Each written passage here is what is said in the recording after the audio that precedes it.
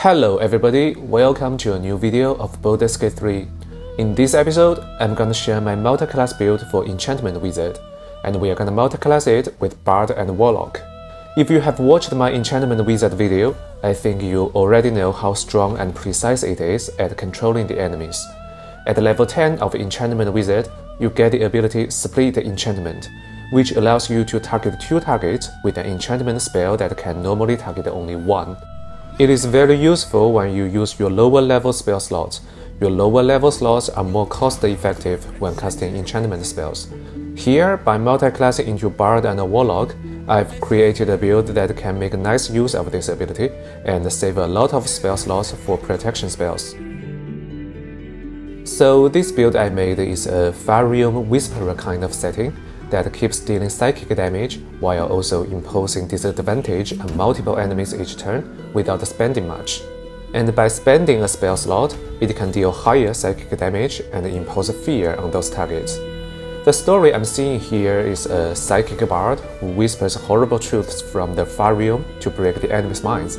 This build has 10 levels of Enchantment Wizard, 1 level of Bard, and 1 level of Great Old One Warlock. With the Bard class, we can get a nice enchantment cantrip called Vicious Mockery. This will be our default attack throughout the game. It deals psychic damage and at the same time imposes a disadvantage on the enemy's attack rolls. Starting from mid-game, we can use the spell Haste from the Wizard class, which allows us to act twice each turn as long as we maintain concentration on it. And thus, we can use Vicious Mockery on two targets each turn, and after we reach level 10 of Enchantment Wizard and get the ability Split Enchantment, we can target 4 enemies each turn with Vicious Mockery. Then, with the Great Old One Warlock class, we can get a level 1 enchantment spell called Dissonant Whisper. You can see this spell as a stronger version of Vicious Mockery. It deals higher damage and can frighten enemies. A frightened enemy has disadvantage on both attack rolls and ability checks and cannot move. Dissonant Whisper can be upcast to increase its damage, but normally I don't use this spell just for the damage. I only use it when I really need to frighten some enemies. Otherwise, I only use Vicious Mockery. The reason is that it's not worth it for this build to spend a slot just for damage, it has better use of them. Besides this, we also get the spell Hex from the Warlock class. If you mark an enemy with Hex, your attacks deal additional necrotic damage to them, and you choose to impose disadvantage on one of their ability scores. We can choose Wisdom to make our enchantment spells stronger against them. If the enemy dies while hexed, you can hex a new target without spending another spell slot, as long as you still maintain concentration on it. And Hex is an enchantment spell too, so it also benefits from your split enchantment ability. You can hex two targets at once after you reach level 10 of Enchantment Wizard but it requires concentration, so you can't use it and haste at the same time. Usually, I prioritize haste first, because the job of this build is to control as many targets as possible. Hex is for the situation where you are fighting fewer but tougher enemies. Given all the above, the most important thing about this build is its casting ability. You need it to increase your spell DC so that you can land your control spells on the enemies. So when you search for equipment for this build, you should prioritize items that can increase casting ability and DC. Okay, now let's talk about the leveling strategy, when to level into each class, and what you can do in different stages of the game. I started this build with the Bard class to get Vicious Mockery ASAP. When originally allocating ability scores, we give the major bonus to Charisma and bring it all the way up to 17, which is the highest possible for now will eventually get it to 20. This is to maximize our casting ability and performance in conversations. Then we give the minor bonus to dexterity and bring it up to 16. This is to increase our AC to make us better at dodging attacks. It's also to increase our initiative rolls so that we can act before most enemies and control them. Then we forego 2 strength to bring wisdom to 13. We'll make it 14 later in the game Wisdom makes you better at sensing danger and noticing hidden things, which is valuable when exploring. And it also makes you hard to control by the most powerful control spells in the game. We leave Constitution and Intelligence unchanged at 10, this build doesn't need them very much. For the Bard cantrips, first we choose Vicious Mockery, of course. Besides this, we get Friends. It gives you advantages on charisma checks in conversations, making you more powerful at influencing people. And it's from the enchantment school, so feels right for this build. For the starting spells, first we get Speak with Animals to get information from animals. This spell lasts a whole day without concentration as long as the spell is still prepared. It's a ritual spell, which means if you cast it outside of combat, it doesn't consume your spell slot. Then we get Longstrider, which I think is a must-have for any party. It increases the target's moving distance for the whole day without concentration, as long as the spell is still prepared. It's a ritual spell too. Every morning you can cast it on yourself, on your whole party, and on all the creatures you summoned. Then, Feather Fall. It gives your party more freedom when exploring the map. Then, Disguise Self. It allows you to assume a false identity. This is useful in places where a certain race has benefits. And the Bard class also gives you 3 charges of Bardic Inspiration each day. You can use a bonus action to give an ally a 1d6 bonus on their next attack roll, ability check, or saving throw. This can be useful in some tough boss fight, especially in higher difficult modes. At level 2, we choose into the Warlock class and choose Great Old One as the subclass. This subclass has the passive ability Mortal Reminder.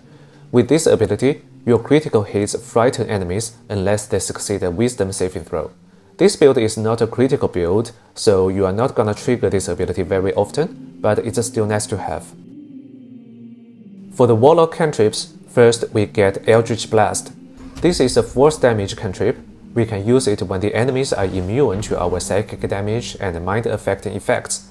For now, Eldritch Blast only shoots one blast each time, but at character level 5, it becomes 2 blasts, and eventually at character level 10, it becomes 3 blasts.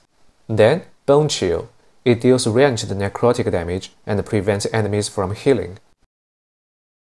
For the Warlock spells, we get Dissonant Whispers and Hex, as we talked about earlier. Before we get Haste, we will keep using Hex on the enemies. Starting from level 3, we stick to the Wizard class. For the Wizard cantrips, we get 3 utility cantrips, because Wizard cantrips and spells use Intelligence as casting ability, and we are not gonna land many offensive spells with only 10 intelligence. We get Mage Hand to manipulate things from a distance, Light to illuminate things, and Minor Illusion to distract people. For the starting wizard spells, first we choose Shield. It's a must-have for any wizard build. It's a reaction that gives you another 5 AC when you need it, making you harder to be hit. Remember to untoggle your opportunity attack in case you waste your reaction on that and can't cast your protection reactions. Then, find familiar. This allows you to summon a creature into your party to help with combat and exploring. Once summoned, they'll be there until their hit points get reduced to zero. It's a ritual spell, and summon spells don't need to stay prepared once the creature is summoned.